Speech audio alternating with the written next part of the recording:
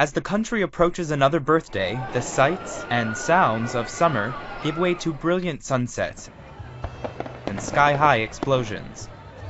This Astoria Park fireworks display in Queens, New York, is one of many created by a long-established family business.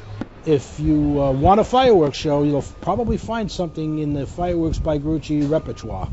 The Gruccis of Long Island have been in the pyrotechnics biz for a century and a half, and their scope is wide, especially during Independence Day celebrations. We'll have about 30 to 40 programs going out over the weekend, and programs range anywhere from uh, Maine to uh, to Florida and from Montauk Point to Las Vegas.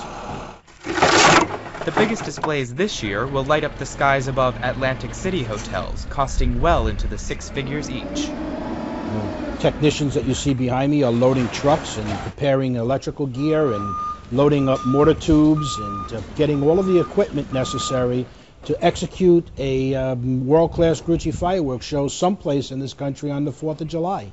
I'm here in the Grucci warehouse and I'm checking out these mortar tubes, which is where fireworks are housed right before they're shot off. Just some of the equipment that are used in the extravagant light shows you see on the 4th of July.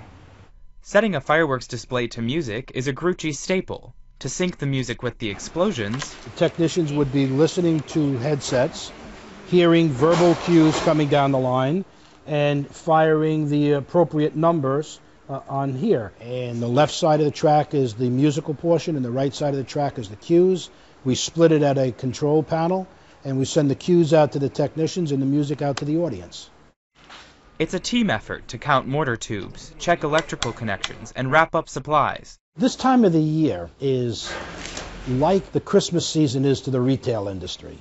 Uh, we're now loading up the sleds, which are our trucks, with all of the toys, which are our equipment and fireworks. Does that make Felix Grucci Jr.